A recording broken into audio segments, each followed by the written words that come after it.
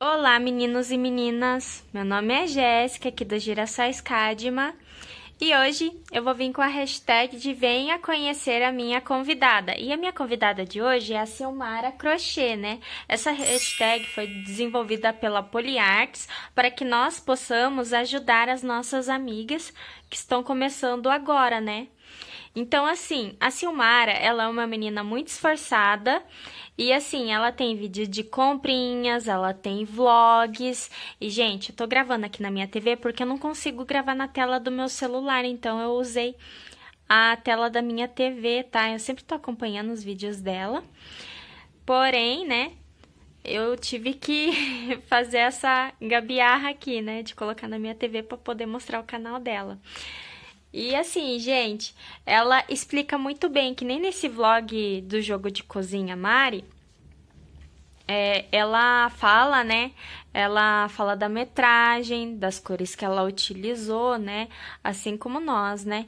Então, assim, vão lá conhecer o cantinho dela. Deixa lá o joinha lá pra ela, gente. Se inscreve no canal dela. Que, assim, é um modo da gente incentivar, né? Porque a gente, quando tá no comecinho, é bem complicado, né, a gente conseguir inscritos, porque o YouTube ele não divulga tanto o nosso canal, né? Mas se nós se ajudarmos, né, e divulgarmos um canal das outras, a gente vai crescer mais rápido. Então foi essa hoje a minha participação especial da minha amiga Silmara.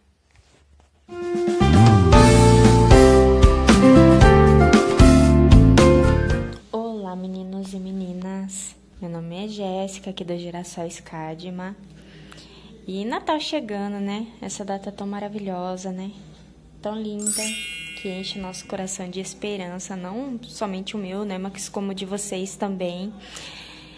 E com motivo dessa data, né? Eu resolvi fazer um tapete com sobrinhas de barbante que eu tinha aqui em casa. E eu vou dar só uma mostradinha aqui pra vocês. E saiu essa bela peça, gente. Mas antes, né, de mostrar ela para vocês, eu desejo para vocês um feliz Natal, um próspero ano novo, né? Se nós não se vermos, né? Mas eu acho que a gente vai se ver aí que eu vou vou viajar, mas eu acho que eu vou continuar conseguir gravar os meus vídeos ainda para ir postando. Mas se eu não conseguir, já vou desejando para vocês desde já aí. Feliz Natal, né? E aqui, gente, vou mostrar tudo certinho aqui pra vocês a nossa peça. Porém, eu tô sem a minha balança aqui, mas eu vou deixar o peso na descrição do vídeo. E assim, ó, foi todo confeccionado. Essa daqui é o squarezinho que eu já gravei a videoaula pra vocês. Provavelmente vai sair no ano que vem, né? Que o ano que vem já tá aí, né, gente? Eu já gravei ela para vocês. Por isso que eu tô desejando feliz ano novo para vocês, né? Agora, porque é, já tem alguns vídeos gravados aqui pro canal.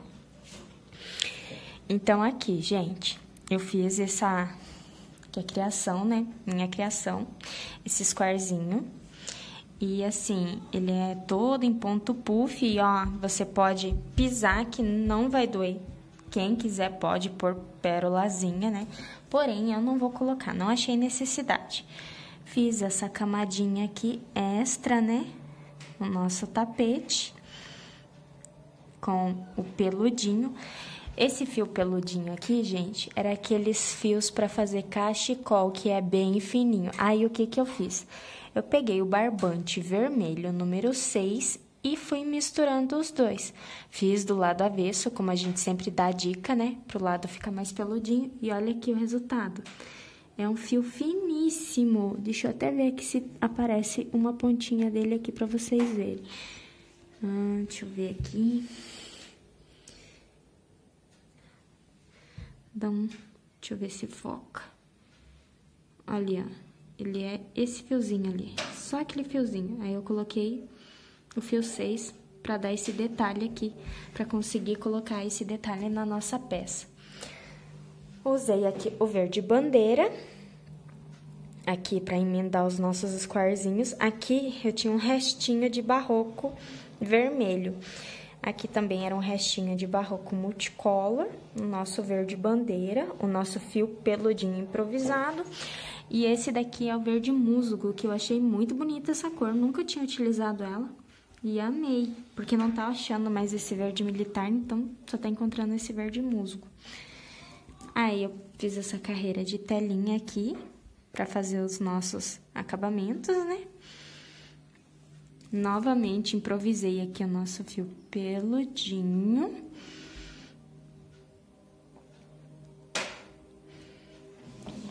E aqui, gente, eu fiz uma carreira inteirinha de pontos fechados e fiz o detalhe aqui do nosso bico russo. E para esse pontinho aqui, ó, do picô ficar maior e dar toda essa delicadeza na nossa peça, nesse aqui do meio eu coloquei cinco correntinhas, enquanto nos outros foram três. Peguei aqui por detrás das correntinhas, ó, para deixar esse detalhezinho aqui, ó, bem bonitinho. E a visão geral aqui, ó, do nosso tapete é essa. Vamos passar aqui devagarzinho para vocês verem.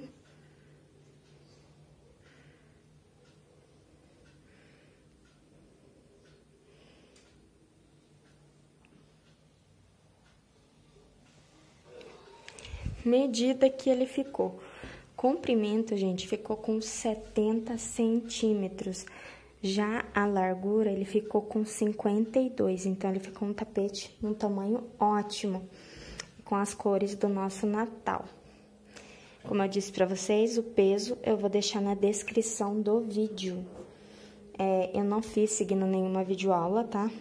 Usei isso aqui da minha cabeça, tinha esses fios em casa e fui utilizando. E esse foi o resultado. Espero que vocês gostem. Se gostaram, desde já peço para vocês se inscreverem no canal, deixar o joinha aí pra gente. E não esquecer de compartilhar com os amigos e com as amigas, porque como eu disse, tem dicas aqui, né? Essa dica aqui do peludinho eu achei que ficou muito legal. Beijo, gente. Fiquem com Deus.